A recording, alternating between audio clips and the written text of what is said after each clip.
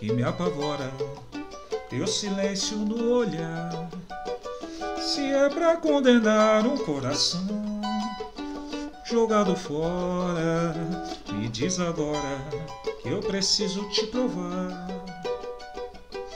Eu me defendo assim, te dando tudo de amor